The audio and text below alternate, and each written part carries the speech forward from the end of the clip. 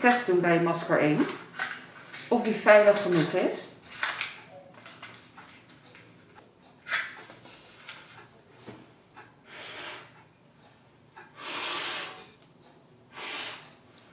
De lucifer blijft branden. Dat betekent dat hij veilig genoeg is en het niet er doorheen komt.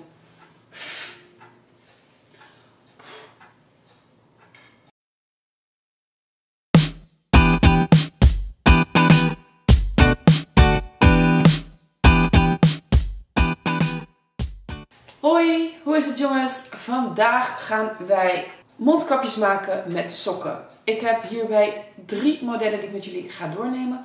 Wat je nodig hebt is natuurlijk een sok, tissues, lucifers voor de check of het mondkapje veilig genoeg is en een schaar. Let's go. Voor het eerste mondkapje, voor dit model,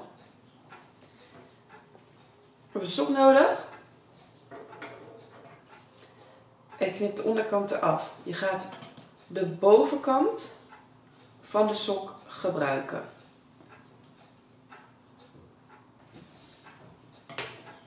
Dan hou je dit deel over.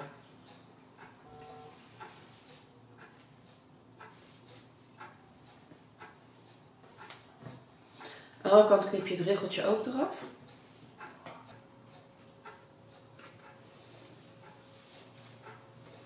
Aan beide kanten maak je tot de helft aan de zijkant sneetjes.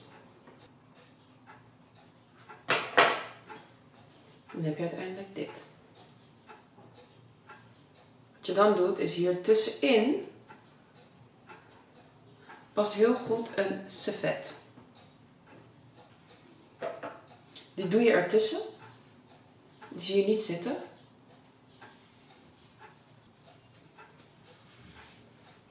Masker 1. We gaan gelijk de test doen bij masker 1. Of die veilig genoeg is.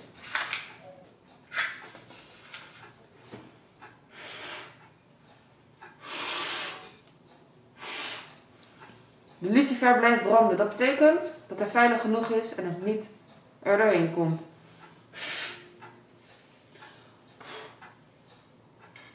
Dan gaan we naar masker 2. Bij masker 2 gebruiken we het deel van de hiel. Dus je knipt eerst het topje van de sok af, waar je tenen zitten. Vouw hem dubbel. En knip hem aan de andere kant op dezelfde hoogte af, zodat je zeker weet dat de sok recht is. Dan je dit over.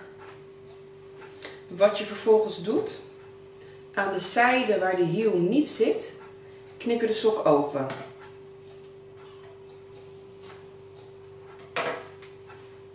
Klapt hem open. Heb je dit.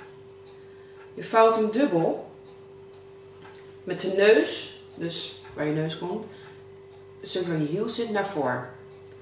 Aan de gesloten kant knip je weer, net zoals bij sok 1, een stukje in. Dat doe je ook weer aan beide kanten. Het hoekje knip je mooi rond af aan de bovenkant. Model 2. Oeps. Bij dit mondkapje kan er echter geen servet vast in blijven zitten. Maar je kan natuurlijk wel de servet zelf erin plaatsen. Zodat je alsnog safe genoeg bent. Dat is model nummer 2. En dan hebben we nog een model. En eigenlijk bij dat model doe je weer hetzelfde als bij model nummer 2. Maar in plaats van dat je hem dan naar voren vouwt, vouw je hem de andere kant op. En dan kom je uit op model nummer 3. En dat is vooral voor als je gewoon ervan houdt dat het lekker groot is op je gezicht. Dat het veel van je gezicht ook bedekt. Je vouwt een beetje naar binnen.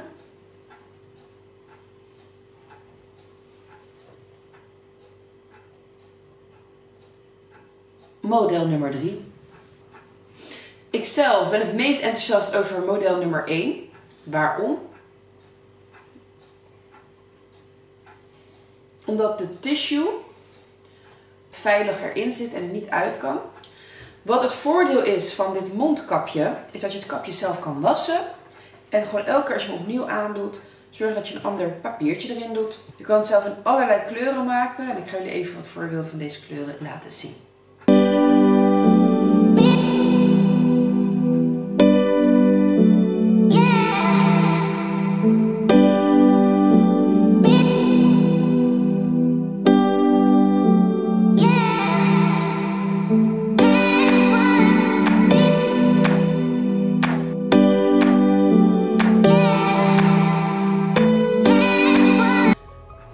Weten als het jou is gelukt om ook dit mondkapje te maken. Vergeet niet te abonneren, te liken en even een comment achter te laten. En ik ben heel erg benieuwd naar jullie foto's, dus deel ze allemaal met mij. Much love from your girl Sanji.